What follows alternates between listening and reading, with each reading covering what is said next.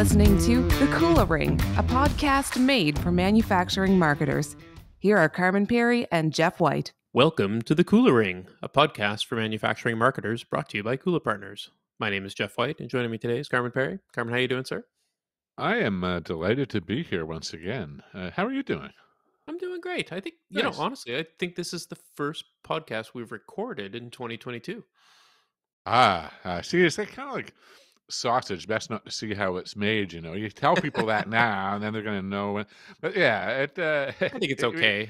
yeah, we do kind of rack and stack them sometimes. Or sometimes it feels like you're recording almost like an episode or two every hour, and then Yeah. other times it seems like you go weeks without. Uh, so yeah, if our uh, if our radio voice isn't quite where it should be, that's uh, what our listeners should know that we've just Yeah. uh, been out of practice. Yeah. Exactly. Uh, just, uh, you know, kicking off the uh, Christmas doldrums a month later. Yeah. Exactly. exactly. well, look, I'm I'm looking forward to our guest today. A really interesting story, and one I think a lot of manufacturing marketers can relate to. Yeah, um, it's interesting uh, in in this space, and and of course, manufacturing being like a massively large vertical. It's not really a vertical at all. There's just many verticals within it. But um, as we look at at manufacturing uh, overall, um, uh, there's a number of marketers I think that find themselves in the kind of the the same uh, shoes, if you will, as today's guest, uh, in that they maybe are um, uh, the the first marketing hire, or uh, an, or, or or just maybe um, uh, you know one of the few people uh, charged with starting to make marketing a priority in a manufacturer, and it just hasn't typically been the case. So uh, I'm hopeful that today's guest is going to kind of give us some tips and tricks of uh, how our listeners can maybe navigate these waters. Absolutely. So joining us today is Steven Nghe. Steven is the head of marketing and communications at Kloeckner Metals. Welcome to the Kula Ring, Steven. Thank you, thank you guys for having me. You, by the way, you guys have great podcast voice. I, I, I was like now listening. I was like, oh, I do not have a voice for radio or a face for film. So like, this is great that I get to partake in this. Well, that's that's honestly why it's a, an audio only podcast because I know I have a face for radio as well. yeah, the audio only helps, doesn't it? I mean, yeah, really, yeah, No, we can we can Photoshop the hell out of the uh, bio photos, though. You know, make it look pretty good. Yeah. well, uh, Steven, um, please introduce our listeners to um, uh, to you and um, and, and to the firm. We'd like to just kind of give us a little bit of texture and context before we get started here. Yeah, definitely. Uh, my name is Steven Nghe. I'm uh, the head of communications, uh, head of marketing and communications at Kloeckner Metals. Uh, I've been with the company for over six years, and so I've been in the past two years in this row.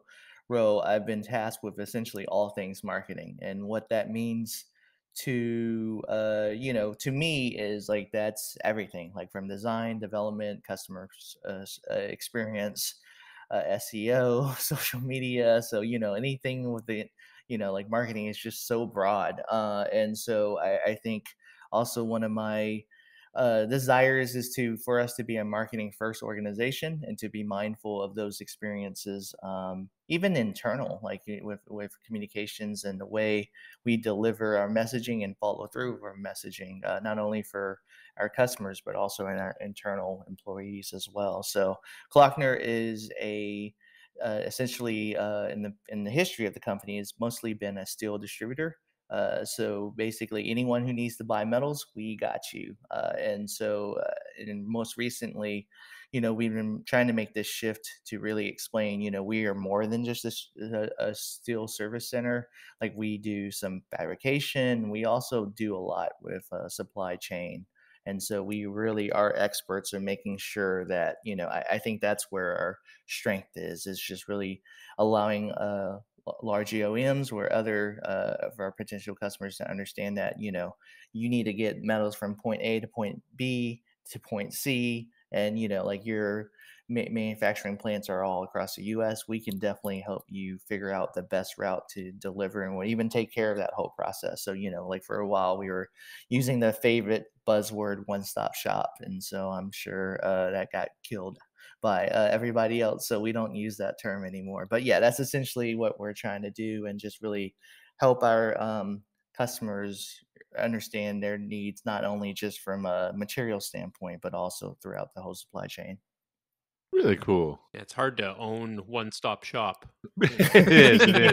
yeah Yeah. Yeah. Yeah. There's a there, there's a corner store near my uh, condo that I think uh, has a kind of One big stop. claim to that. Really. yeah Yeah, yeah yeah. yeah, It, it, Yeah, it's they don't they don't carry the same kind of metals as Kloeckner though. I'll tell you yeah that. they This is true. But it's interesting 'cause, I mean, Kloeckner is not a small company by any stretch of the imagination, but yet, um, you know, you're relatively new there, and your presence there is really indicative of a renewed interest or a newfound interest, maybe not renewed, in marketing. That's that's uh, isn't it fascinating? Like when a you know company gets to the scale uh, of Kloeckner, and you know, marketing just hasn't been a part of it.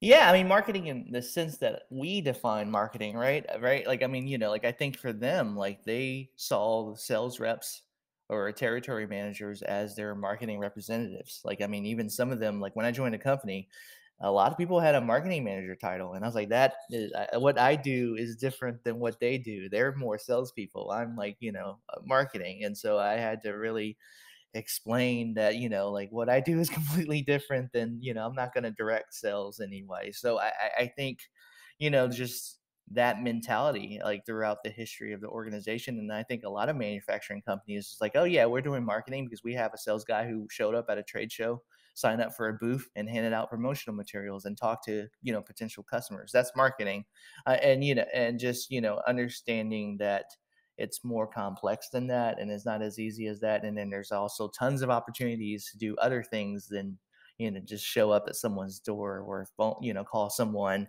I mean you know our, in our business we literally uh, the history of it obviously not now but you know they've been deals that were done over uh, dinner on napkins like someone signed a contract over a napkin you know like you hear these like stories and you're like you know a handshake deal like or just you know literally someone driving and so oh there's a new building. I should stop in and introduce myself and that you know they saw that as marketing so that's where we are But uh, you know, I think that's it's so much um, the case for uh, for for for, for uh, you know many many businesses and in many industries that um, a very sales first organization um, and a and a reputation in a business that was built at a time when uh, that was very much a face to face in person endeavor. Um, and and not to say that sales isn't that now, and you don't even have to you know think too much about a pandemic or otherwise, but um, you know the fact of the matter is it's getting uh, you know it, it's it's it's more complex now. You just drive around and look for the the the the newest smokestack on the horizon and then head there and ask if they need something. Um uh, so i guess a lot of manufacturers are probably you know they're, they're kind of in this same headspace where they're they're uh, looking at it for the first time and and understanding that the the environment is is is uh, very much more multidimensional and complex, more digital. Um, that digital presence influences uh, sales conversations, uh, unbeknownst to the salespeople, et cetera, et cetera. I guess uh, how uh, was that the was there? I guess how far along was the company in that realization that sales and marketing has changed?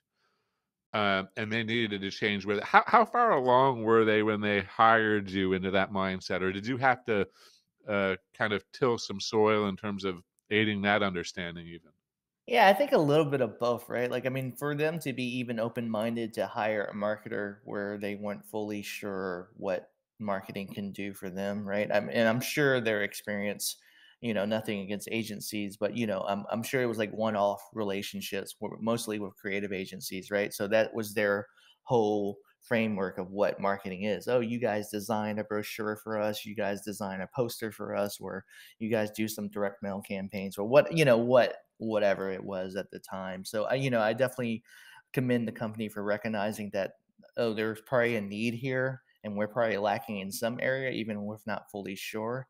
But uh, definitely, you know, like I, I do spend a lot of time of my day, uh, just I mean, that's what I was hired to do, to kind of push the company into thinking, oh, can we do this? Should we should do that?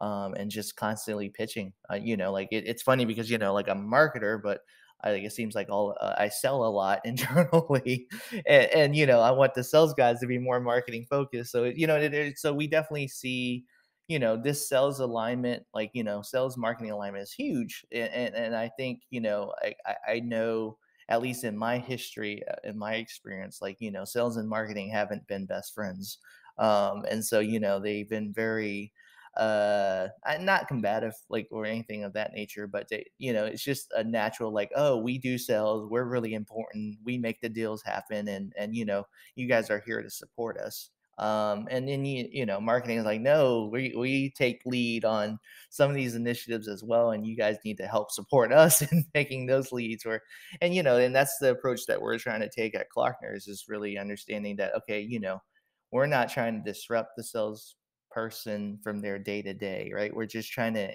figure out ways to enhance it to make us more efficient and just even like understanding what the sales cycles looks like and if there's anything we can do to shorten it or just even make sure that the right messaging is appropriate for the your customer uh, on what you're trying to actually sell. Like we offer a tons of different types of products and services, so you know our world is not the same. Like we have so many different segments, um, and so it, it is very complex. Metals is actually overwhelmingly complex. So you know it's just me trying to partner with them and understanding their needs and making sure that you know we like here's what we can do for you and you know i have really been taking like a more kind of like an internal agency approach to uh, since i've joined the company and so and I, I will say that you know that's helped you know like they've seen the work we can produce and they've seen the oh oh he is helping us making our lives a lot better easier to close this deal so let's rely on him for this type of support. So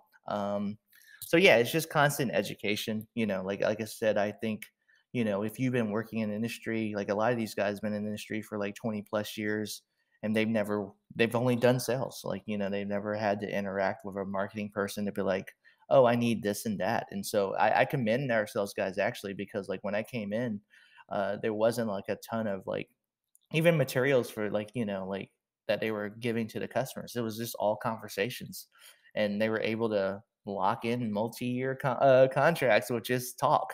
And so that's that's impressive to me. So you know and and so i think you know coming in i wanted to make sure they understood that i valued them um, and their skill sets as well. And i need to understand like you know how did you sell? Like you know can we replicate that or can we create evergreen content from like the things that you use to kind of help grow you know your career and help the company grow in revenue as well that can be such an interesting um, challenge for um, uh, an organization. I, I, I, know a number of them that are kind of navigating this right now. That they're they have a, a, a number of salespeople that have been with them forever. you know, they're thirty year, very like long tenured salespeople, and to your point, they carry so much information in their head that they're closing multi-year deals with conversation. And and uh, uh, I, I find there's an interesting edge that yes you can provide marketing support to those folks but actually in some ways harvesting what they know and turning that into marketing support is in some way almost part of the knowledge transfer that needs to happen because you know these folks aren't going to be working there for very much longer yeah you know? yeah and you know and because of the history of the company right like um or just even history like i've, I've seen this with other manufacturing companies is like you know their crms might not have been as sophisticated like you know they might have had like recorded notes on a notebook you know that they carry around with them like you know so it wasn't like they had a a, a suite of digital tools that where they were documenting like you know all their knowledge and so it really is. It's, it's challenging to you know now, and then I, I think that's the challenge too. Is like now you're telling that guy who's been doing it successfully for you know X amount of years to be like, okay, everything you do on a daily, change that. Can you log this into Salesforce? and and he's like, whoa, whoa, you know, I've been this is just extra work for me. Like I've been doing, you know, I've been showing success. Why do I have to change my ways? And so, and you know, for us to come in and not say that it's a threat uh, you know like to not pose it as we're a threat we're trying to change your everyday workflow you're we're trying to make your lives more busy or complicated like that's not you know that's not beneficial for us so yeah I, I definitely you know would highlight certain individuals like even just when i first joined the company and try to like just build a relationship with them, pick their brains, and then try to convert that information into like some kind of marketing materials or, or into a content calendar. And so, and just try to ride that wave as much as you can. And, and you know, because they're busy too. So it's just like really, um yeah like working within their work schedule so it's like you know we're we're a team but you know like they still have to go and make sales like you know they don't you know like i'm not like their top priority um so so it is really you know, also showing the value in that, right? Like showing the values like, oh, if you take out time in your day, here's what we can produce. And that's what you, you can use to also sell. And then, you know, see that as, a, as an investment, not necessarily as me just taking up, you know, minutes out of your day. Are your digital marketing efforts bringing in too many junk leads? Stop wasting time and distracting your sales team. Account based marketing can help give your marketing strategy the laser focus on qualified buyers that you need to increase your pipeline velocity, close more deals, and grow your business faster. We've created a sample manufacturing ABM plan to help you get started. Download the sample manufacturing ABM plan at bit.ly slash sample ABM. That's bit.ly slash sample ABM. Has that been, you know, I- internally when you came into the organization? Obviously, there are going to be, you know, not necessarily um, confrontations or anything like that, you know, with the with the sales team, but has has that been the biggest headwind getting the uh, the sales team on board with kind of digitizing their approach and and getting them to understand the requirement and why a CRM is valuable or have you seen were there other things that you really had to work hard on in order to to bring the company around to uh, to a more modern digital marketing infrastructure? Yeah, I, I think it's a combination of both, right? Because I mean, like for for marketing, like you know, when you look at like the stereotype you see in Silicon Valley, like you know, the CEOs are usually dynamic, you know, like like Apple, right? Like everyone talks about Steve Jobs, and he was he was just a marketing like focused individual, and so you know, you think when you join a company, everyone's going to be that gung ho about marketing and like, oh, here's all the great things that we're going to do. And, and it, it, I don't think like the average person, like, you know, if you're an engineer, like we have a lot of engineers, salespeople, uh, you know, production, quality control, shipping, logistics folks, like, when do they ever interact with marketing like ever and so I, I, think i really had to understand that oh man i am literally dealing with an audience where there's no communication. It's like, you know, there's nobody on the team that's communicate. HR is as close to a communications manager as you have, you know, and then there's no one else who ever deals with marketing. They always deal with sales. They deal with salespeople. They deal with internal salespeople. They deal with external salespeople to, you know, for for vendors and stuff like that. So yeah, it was definitely um, learning that I had to do a lot of education and, and give them more exposure to what marketing really is. And it's just more than just uh, me designing you a brochure that that we're going to print and ship out to you know x amount of people and so you know that's just you know one thing and so just really trying to explain how it's all connected and this is all marketing is probably the biggest challenge because yeah they had no foundation at all. I wonder too, you know, when when you came in over 6 years ago and looked at this organization and understood the sales-led focus of it, how did you decide what to do first? I mean, obviously there's learning for you to understand the company, understand the products, understand the flow, but how did you kind of approach um, putting putting uh, you know pixels to paper or or, yeah. or getting getting uh, getting organized? What did you do first? Uh, I, I really took a content uh, approach first. Is like you know we had a website that's you know we've been around since 1906. Now, granted, we haven't had a website since 1906, but it, it's like oh, and look at the opportunity. Like you know, just from a just a SEO standpoint, it was like you know no other uh, no other competitor was investing into like their website or design or look and feel or any of that stuff so i knew that oh my gosh like if we just start like dominating the digital um you know space with with content like we're gonna rank easily there's not a lot of competition. It's, it, I mean, it's kind of like the wild, wild west, right? Like where it's like, oh, you know, we know there's land out there, and but you know, no one's claimed it so far, so we just have to make it out there. And so it, I really, I mean, I think in the first two years, I produced over 70 videos, um, and so, um, and then you know, we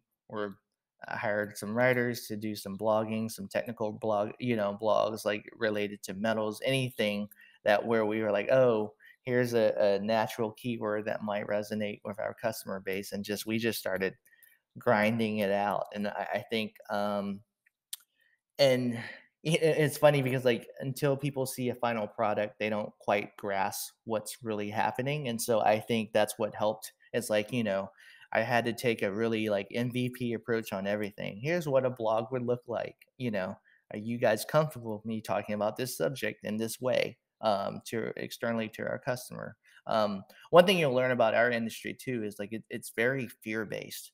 Um, so they're afraid to make a move to like either offend someone or or oh that's too much information to share. For example, we have you know customers that would be great if i could say oh um, i mean just like any other company uh, please validate that we're legit right? And so you know you see on everyone's website as seen on uh, x good morning america or you know uh, on yeah like stuff like that. For the life of me like i could not ever like share who we actually do business with and and that's and that's i think that's universal. Um, a lot of manufacturing companies do not like to share who they do business with at all publicly. And so it's like, you know, if we're doing something new, when X customer, like I would see that as a, as a, as a win, right? If you're trying to sell X company and you told them that your competitor also works with us and, and does thrives with us, then, you know, that should validate that we're a legit company that you should partner with. But, uh, you know, the, the, the organization didn't always see it that way. So so but have you have you changed their mind or, or are you just work, working with what you got? Yeah, I think so because you know like and along the way like I'm grateful for when I first joined the company I reported to the CFO and so one thing that marketing does not do well is that marketing spends money and so you know like the one person you don't want to basically look at you always under a magnifying glass is the CFO who's also worried about like eh, you know expenses. And so if I'm like say hey I would like this X amount of money and he's looking like no what you're like what are you doing? Um so you know like I, I think um the organization recognized that and so you know we had um created also a digital innovations team and so they actually stuck me under the digital innovations team. I tried to explain to them like marketing's a little bit different than DI, but but you know, to each organization their own, right? And so we'll make the most of it. But you know, I was really grateful that they put a VP there that really was an advocate for for marketing, an advocate for oh, we should probably try to do business this way. And so, you know, he obviously helped bridge the gap between uh, you know, my role and the leaderships and the executive teams and, and the sales team to really understand is like oh the value of this. And so he really supported me even in um, pushing me to get out there you know like to make these face-to-face visits the way they've been used to doing business with customers making these face-to-face visits and and just really breaking down like the types of uh, things we can partner together to make this company grow. Um, and so I, I think that helped you know like like having advocates for you within the organization, especially when it's something new. And so I, I think, you know, to this day, um, and you know, I um, I value our CEO too. He's he's you know always trying to be forward thinking. Uh, as the rest of the team, like you know, like they're they're open minded. It's just that you know when you don't know, you don't know, and so you know it's not as easy to say yes when you're like, I don't know mm. what you're talking about. Like, you know, and I'm just telling them, say yes to me, trust me, yeah. just hand me, hand me a plate of money and let me run with this. And, you know, it's not as obviously in the real world, right? It's not as easy as like, oh, what, well, what kind of impact and, you know, show me the business case. And so, you know, so we're, we're doing those things now and we're, you know, I'm grateful. Like, in my time here it hasn't felt that long but yeah that i've been able to make ways and at least have a voice and and and, and try to convince them that oh let's let's push even further. Mm. And how big is the team now, uh, Steven? How, how many do you have working with you? I have a team of three now. So, so uh, yeah, we just hired a um, communications manager in December, and so my first hire was uh, right when the pandemic started. I tried to uh, we hired a um, marketing manager, but uh, basically sh- she started in June. So you know we've definitely uh, you know the thing about small teams is that you have to be scrappy and like it is like you know and the mindset that we took is really like we have to be a production house because and eh, at least in the beginning right like and then we can get a little bit more strategic um, once we have some foundations and set some once things have momentum then you can be a little bit more strategic so i you know i was grateful to for that first hire because she definitely helped a lot uh, with you know producing like pro- Yeah. projects yeah I could, I could, there's a real wisdom in that, like this notion of people don't really know kind of until they see it in some ways what they're talking about. So that early emphasis that you had on like, we're just going to show you lots of stuff then. We're going to produce and churn stuff out so that you can, you know, begin to wear this, try this on a little bit, see what you think. And, and, beyond that, I love something you said, man, must probably like 10, 15 minutes ago around how uh, wanting the salespeople to see that it was not a waste of their time to speak to you, but rather a worthwhile investment. Like there was some some way in your voice there, there was some pressure that to to produce something out of that that was worthwhile and can help that sales process so that they actually look back on their hour or two hours that they spent with you and say that was worth my time that's a lovely i think little kind of um, yardstick to to hold up against the, the work in the early days there. I think that's really cool, Steven. Yeah, yeah. I mean, uh, you know, and ultimately, right? Like we're all trying to be excellent for the company, right? And Mm. we just have different defin- definitions of what excellent means. And so, you know, and I, I at times I think my definition is correct and yours is wrong. So, you know, like it is really uh, about collaboration and understanding. Okay, what's your definition of excellence? Okay, well, let me help you get there because you know I have my own definition. So, how do we marry the two together to really show excellence in that sense? And so, um, it is like you know but it does like you know like with any organization right it does take a lot of um and i you know give kudos to the team and and the individuals in this organization like they have to be you also have to be open minded to to be like oh let me work a different type of way or let me in, uh, let this person in to you know help work with me or collaborate with this person to to make these things happen too because you know you can't produce content unless you have uh you know like i can't make a i can't make a video uh if no one's agreeing to be on film you know like so yeah like it definitely is a partnership all the way and you know i, I truly believe that and i think that's where um you know organizations like you know i've been in organizations where they've had challenges with egos and and you know more stricter uh you know oh i'm a vp you're a director you're a manager you know like so these like silos and so you know and obviously any organization this size can have silos but i i do think that you know collectively um if the organization is thinking about okay like this is how we partner and you are helping me then you know it makes it a lot easier to kind of get things done. Yeah, what what would you say was the thing that that made people truly begin to appreciate what you were bringing to the table? Like, was, was there an early win or or something that you did that everybody just kind of went, "Oh yeah, all right, I get it, I see it." Yeah, I don't know. Like me me getting approval for money is a sign that things are working, right? Like so I, you know, I don't get a good you know, good job. You know, it wasn't it wasn't necessarily like directly like great job. I mean, you know, from my obviously my direct um, you know, VP, like he he would he would give me some kind of the sentiments. But you know what what really I think helped is that when we started producing things and we started like to pr- approach branding in a certain way and design things in a certain way uh, people started to notice like you know externally and so when and then they would make comments to our ceo our coo to our sales teams and so they and or you know other companies would start changing or investing into what we've invested into marketing as well and you know and i think uh that kind of like help solidify oh he might actually know what he's doing and we can trust him a little bit more and give him you know a you know give him a little bit more to invest in and to you know basically push the company forward that kind of external validation, if you will. I'm sure there was because you know I didn't get any internal validation. like you know they didn't communicate. Maybe they didn't want to get me to give a big head. So you know I, I you know like so. But yeah, as long as like uh you know I'm saying hey I want X amount for this campaign and they said yes that that's to me a sign that you know something's working eh, for them to say yes to. For sure. Yeah, nobody stopped by with a box of donuts or a case no, of beer, no, eh? no, Yeah. Ah. no, no.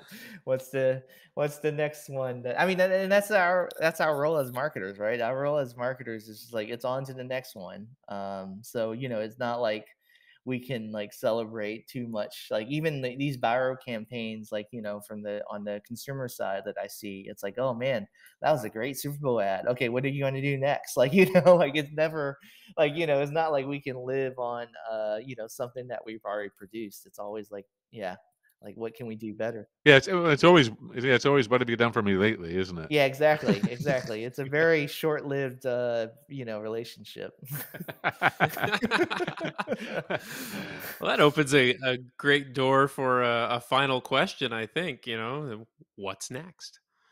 Uh, yeah, no, I mean, I think you know, for us, like we're continuing to push where where sales alignment. Uh, you know, I think there's a lot of things that we can continue to grow the team. You know, my like you know, this organization is the smallest marketing team I've been a part of. Now, obviously, I've I've you know only been the head of the department in, at this organization, but you know, I've been uh, part of teams that were over 100 plus. Like so, so it is really showing the value of like okay, like not to have heads just to have you know people in, in these seats but really these people have a purpose and we need to drive these initiatives. So i, I i'm hoping that you know we can continue to grow. I, I think you know for us like it brings us joy, great joy when we're creating materials we're driving uh, traffic to the website for lead gen for you know qualifying those leads like helping you know from a marketing standpoint or doing anything that we can to say that hey look at our attribution report and look at how much revenue we're driving